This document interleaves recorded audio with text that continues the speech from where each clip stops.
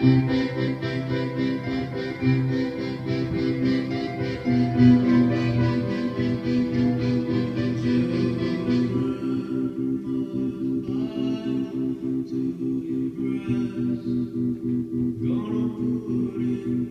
the test.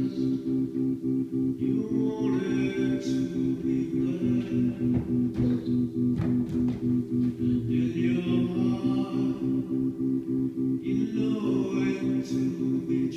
You know what you got.